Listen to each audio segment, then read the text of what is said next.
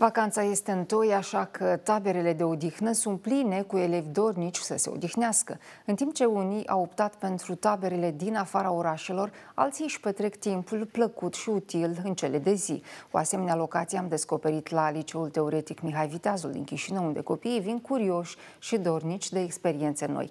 Excursiile și notul sunt activitățile care îi bucură cel mai mult pe micii exploratori.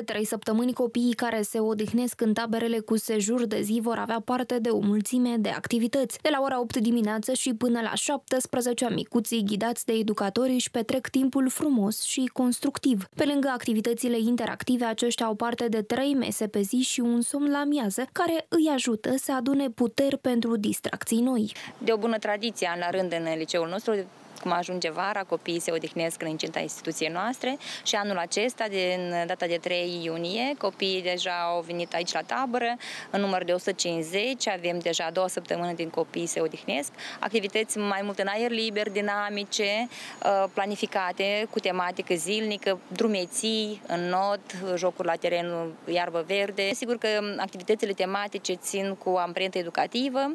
Avem ateliere de lucru pentru copii. În prima săptămână au avut parte de multe surprize, iar astăzi, după două zile în care au stat acasă, copiii au venit la fel de entuziasmați. Foarte bine, chiar mi-a plăcut. Ce ți s-a părut ție cel mai interesant? Tot, tot mi-a plăcut. Dar iată astăzi, ce activități ați avut? Ne-am dus la teatru și mi-a plăcut cel mai mult la teatru.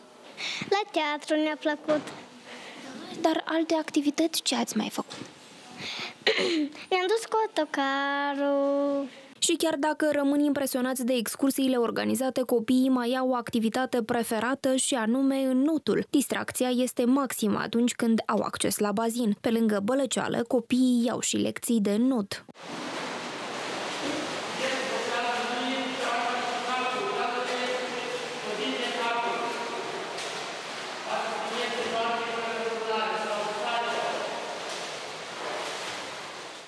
not. place să mă joc cu prietenii și să not.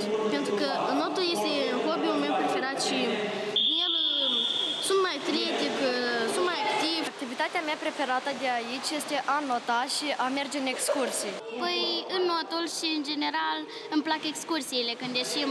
Azi am fost la teatru.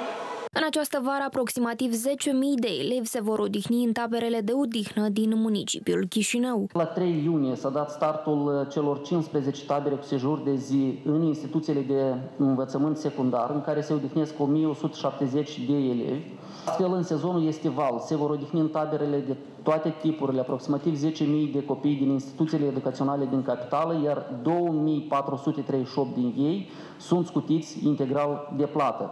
În rest, părinții achită 20% din prețul biletului. Tabăra de odihnă Vitejii din cadrul Liceului Teoretic Mihai Viteazul își va închide ușile peste două săptămâni. Pe 21 iunie va avea loc festivitatea Dio Tabără, iar la final cei mai creativi elevi vor fi premiați.